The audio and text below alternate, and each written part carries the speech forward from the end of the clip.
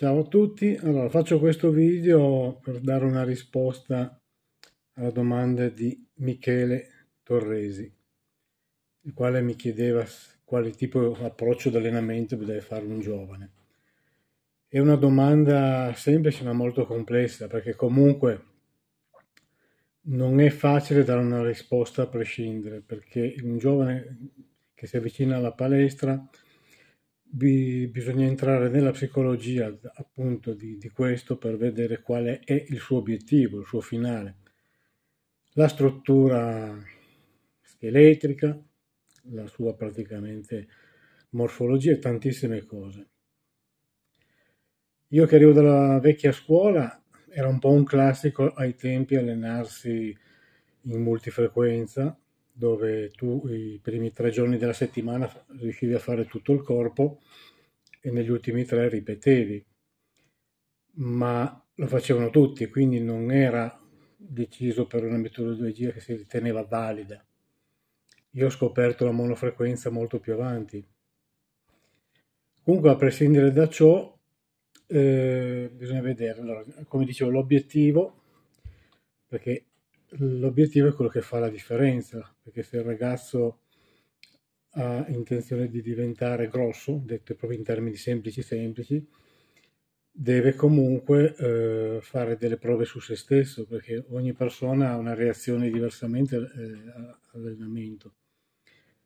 Io, per esempio, ero portato per fare ripetizioni da 8 o 12, c'è gente che invece preferisse lavorare più pesante, c'è gente che preferisse lavorare oltre le 15. Comunque tutti i sistemi sono validi, bisogna trovare, diciamo, il tuo, quello personale che ti trovi meglio. E quello è già una cosa interessante, perché l'istinto comunque non bisogna ascoltarlo.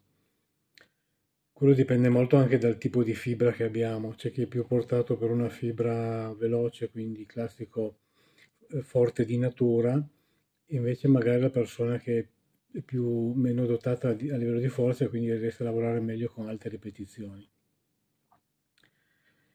Poi il discorso della multifrequenza o monofrequenza si può fare dei tentativi. Ci sono dei personaggi che vanno meglio con la monofrequenza perché hanno bisogno di un recupero molto più lungo e di conseguenza hanno magari un risultato migliore provando a passare alla multifrequenza magari vanno più in catabolismo, quindi è da evitare. Invece altre persone che hanno bisogno della multifrequenza proprio perché non basta quell'allenamento che si, si è fatto. Però ripeto, sono sempre cose molto personali da provare. Io personalmente, cosa stranissima, all'età di oltre 60 anni ho migliorato le gambe tornando alla multifrequenza negli ultimi anni ho sempre allenato in monofrequenza, da quando le ho, le ho riportate in multifrequenza due volte alla settimana, complete, quindi parliamo di quadricipiti e femorali, sono riuscito a migliorarle, nonostante l'età. Quindi eh, per i maligni che magari parlano di doping o non doping, perché questo io so già e prevengo la domanda, il doping c'era prima e c'era dopo c'è stato dopo, quindi non è questione di doping, è questione proprio di allenamento. E io credo molto nell'allenamento. Io penso che l'allenamento sia la cosa importante e da dare precedenza. Il doping è solo un aiuto per chi gareggia. E lì si potrebbe aprire un altro discorso, ma si potrebbe fare a parte, non voglio fare questi discorsi adesso.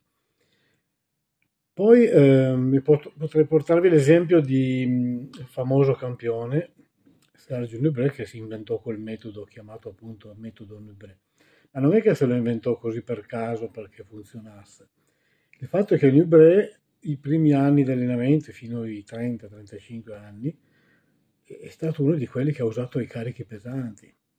Quindi ha usato i carichi pesanti, però quando si è trovato con le articolazioni dopo i 40 anni molto logore e i primi dolori, ho dovuto inventarsi questo famoso sistema Nubre, che era basato su tantissime serie, tantissime ripetizioni alte, parliamo di 20-25 ripetizioni, eh, tempi di recupero abbastanza bassi e, e molte serie.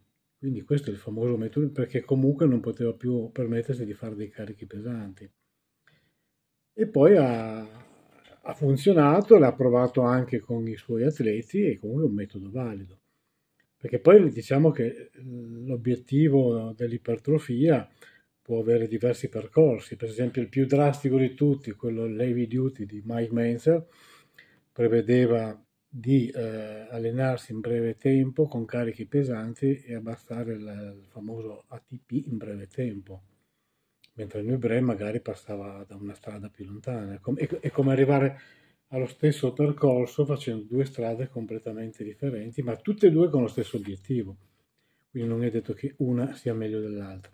E poi in mezzo immaginiamo questi, questi due percorsi come uno all'estrema per usare termini politici, uno all'estrema destra e l'altro all'estrema sinistra, però con tutti gli altri metodi anche in mezzo che funzionano. Però tutti hanno l'obiettivo di arrivare all'ipertrofia, quindi non è che uno sia meglio dell'altro. In un giovane, ehm, alla tua domanda, Michele, l'importante è eh, sapere anche per esempio se, se è uno studente oppure se lavora, quindi anche questo è importante perché c'è un dispendio energetico maggiore su chi lavora. La disponibilità, se un giovane è ancora in famiglia, quindi più controllato dai genitori, quindi non riesce a fare un'alimentazione corretta come dovrebbe perché a volte i genitori non ti aiutano, invece se da solo riesce a farla, e questo è anche importante, è una componente importante questa. Quante volte si allena? E questo è anche un, un discorso da, da, cioè, molto importante, nel senso che se io mi alleno due volte a settimana sappiamo benissimo che non è che serva molto. Quindi eh, il problema è vedere quanto ha di dedizione questo giovane. E poi la genetica. La genetica ha, sua, ha la sua importanza perché purtroppo le nuove generazioni ho visto che da mio nonno, mio papà e io siamo per esempio tutti alti uguali. Già i miei figli sono molto più alti, ma non solo nel mio caso, quasi tutti i miei amici hanno i figli più alti. Queste, queste nuove generazioni dagli anni 90 in su sono molto tutti più alti a discapito quindi della, della massa muscolare. Sono molto più longilini, più magri e tutto, quindi anche un po' più difficile per loro mettere su massa. Poi ci sono delle statistiche che dimostrano che le, ci sono personaggi che appena toccano un peso, tac, eh, mettono su muscoli, altri che invece si allenano, ne ho conosciuti tantissimi, che si allenano da anni, fanno l'alimentazione corretta, si allenano pesantemente e non hanno risultati. Questo purtroppo non ci si può fare niente, è la natura che fa la selezione conoscevo un, un, mio coetaneo, tra l'altro di Torino, che appena toccava un peso da natural, quindi parliamo di un discorso senza doping, aveva dei risultati tanto già da, da destare sospetti, ma io garantivo, posso garantire che era natural. Come ho conosciuto gente che si è riempita di steroidi, ma da far paura, proprio da, da, da rischi, e non avere risultati. Quindi vedete che a volte di cosa stiamo parlando.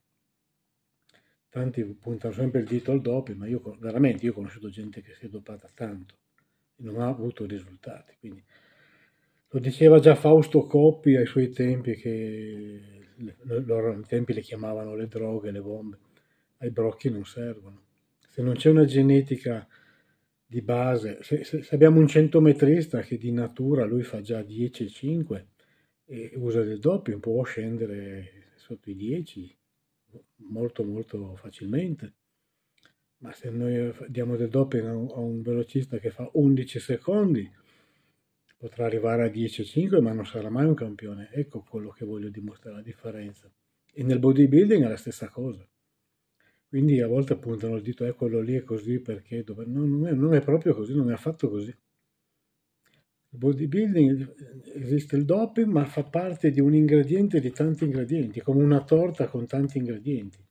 Quindi se non c'è la genetica, se non c'è l'allenamento, se non c'è la, l'alimentazione corretta, se non c'è il riposo, il doping non serve a niente. E poi ripeto, ci sono dei personaggi che non gli fa niente. Proprio purtroppo è una cosa da dire. Poi le altre domande che mi chiedevi, ripetizioni te ne ho parlato, carichi alti e bassi, beh carichi alti e bassi proprio dipende dal sistema. Io preferirei fare per esempio eh, la prova di fare i carichi pesanti un periodo, carichi pesanti intendiamo 6-8 ripetizioni con delle cupole da 2 minuti, anche 3 minuti, facendoli sempre però su esercizi biarticolari, tipo la distensione su panca, i manubri, mai fatti per esempio su un, un'estensione, eh, cioè la differenza tra la distensione e un'estensione, per esempio quando faccio i tricipiti, tipo panca stretta faccio una distensione, se invece faccio un French press faccio un'estensione, quindi cariche pesanti sono più pericolosi, sia per strappi che anche diciamo la, l'articolazione che si può usurare. Quindi cariche pesanti sempre con bilancieri, manubri è meglio che le macchine. Se poi dopo parliamo di carichi leggeri, di leggeri si intende da 15 ripetizioni in su, però per arrivare lì magari è meglio fare prima il sistema pesante. Quello che invece sottolineerei, ecco, e che aggiungo io, è che vedo troppi giovani affidarsi a, ai social, dove vedono campioni che si allenano e quindi copiano molto gli esercizi. Una volta in palestra esisteva il il classico istruttore di sala che seguiva tutti e quindi era un po' difficile anche sbagliare perché c'era questa persona, punto di riferimento, che insegnava a tutti. E adesso con la scusa che ci sono tutti i personal trainer, eh, non c'è più l'istruttore di sala, chi è seguito da un personal trainer si spera che sia un personal trainer preparato, quindi che sia caduto in buone mani, altrimenti sono allo sbaraglio. Questi ragazzi allo sbaraglio che di solito vedo sono sempre gracilini, magrini, che fanno per esempio uno dei classici esercizi che vedo fare a tutti, la, pe- la, la croce con i cavi, non serve a niente. Io a volte le vedo, se, se sono in confidenza gli, gli, dico guarda non ti serve a niente questo esercizio. Inizia a creare un pettorale importante con manubri e bilanciere, come si faceva una volta quegli esercizi di contorno come può essere la pectoral machine o le croci le puoi inserire in domani che hai già due pettorali importanti e magari decidi di fare una gara. Ma se sei secco scusate il termine non puoi pretendere che con i cavi incrociati o la pectoral machine o la fly che ti cresca il pettorale. È chiaro che lo, lo senti lavorare ma non ha quel, quella, quella rottura delle fibre che può avere una distensione su panca alta piana, anche uh, declinata. Io sono un pochino legato a quei vecchi esercizi della old school, ma sono quelli che servono. Una volta non avevamo tanti macchinari, eppure c'erano dei bodybuilder che erano perfetti esteticamente.